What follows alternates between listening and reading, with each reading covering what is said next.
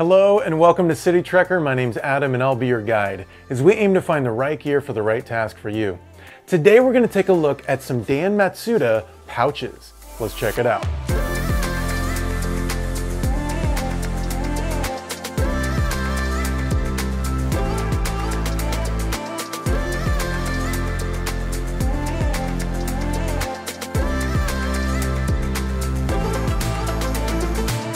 Dan Matsuda was a designer at Triple Aught Design for over a decade, designing the Parallax, the Lightspeed, the EDC pack, and many more. The last few years, he has shifted to freelance and has his own personal outlet at danmatsuda.com where he produces pouches and packs and patches.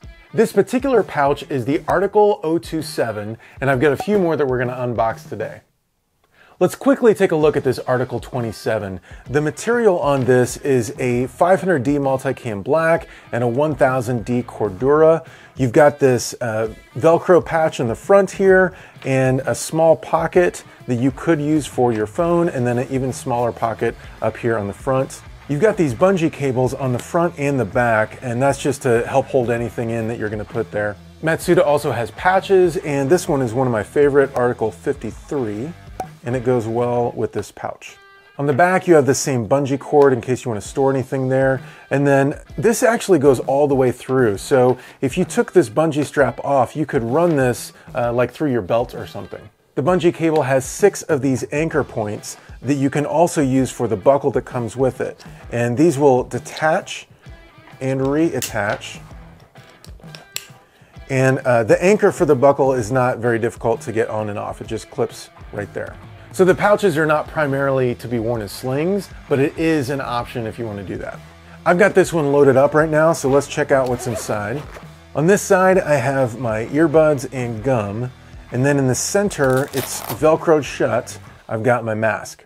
As you can see, there's a pen loop here. There's another pen loop on the other side as well. I've got this Fisher Space Pen uh, from Triple Aught Design. On this side, I've got a lot more going on. You've got these pen loops here, and this entire thing Velcros off if you don't want to use it, uh, as does the one on this side. Also from the James brand, this capsule, I keep ibuprofen in here. This is the James brand Stillwell pen. It pops out and goes back on the other side.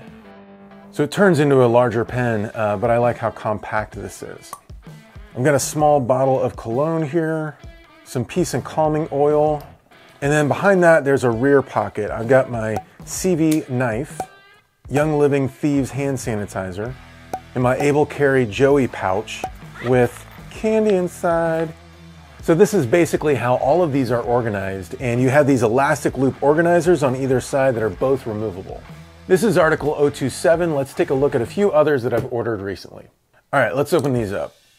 We'll open this up. Nice. I love the packaging on these. And there we have it. This is Article 070. This 070 has a 500D multicam Alpine and a white shell with a 1000D liner. You've got a spot for patches on this one too. Not all of them do. I'm gonna stick a Carryology patch on this one. The white and black seems to match nicely. And then let's open this up. You've got the strap included so that you can wear this as a sling if you so choose. Very similar setup on the inside. You've got the elastic loop organizers on either side that remove with Velcro, and then the center pocket that Velcro shut. I like this one, it has a really unique look to it, and obviously would be cool to use in the winter. Matsuda also did a collaboration with Carryology to make these two really cool patches for 2020, the Rise and Fall. They decided to use the imagery of an astronaut, and here he is in the fall position and here in the rise position. And I think all of us in 2020 experienced different kinds of falls and challenges, uh, but also needed to rise to the occasion and overcome. Okay, next box. We got another, I like how he has this sticker that seals it shut. And here we have Article 044. The 044 is all black inside and out. It's a 1000D black shell with a 1000D liner. I think we're gonna give him the Rise pouch. Yeah, that looks cool. Inside of this is the same. You've got the uh, included belt.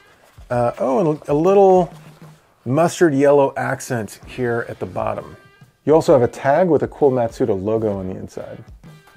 So that's the 44. I think this is my favorite so far. All right, last one. All right, let's open this one up.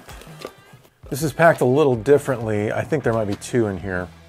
I want to salvage these stickers as much as I can. Because I've got a little sticker collection going, you know. This is article 073. It is black inside and out. You've got the black 1000D Cordura with 1000D liner on the inside. There is this dark orange liner on the inside of the front pocket as well as the bottom of the main compartment. Same on the inside, we've got our belt and that uh, orange liner at the bottom. I really like this one and I feel like this front pocket might be a little bit more functional than the way that some of the others are laid out. Uh, I do like the morale patch on this one and so I, I would miss that on this, but um, functionally I think I would use this front pocket a lot. All right, one last one. My sticker collection is coming along quite nicely. So this is another 44. Apparently I got two. I'll be selling one soon, uh, probably before this video is live. I really like this 44, uh, maybe the best. It's For me, it's gonna be between these two, uh, just figuring out on the front, which am I gonna functionally use the most. And let's go ahead and put the fall patch on this other 44. So here they all are. Uh, I've had a few others that I've bought and sold in the past. Uh, I really like these here and I'm probably gonna end up with one of these two that I keep in the long term. These are made by hand, incredibly well designed, uh, great materials, very flexible and versatile in the way that you can use these, and they are limited edition.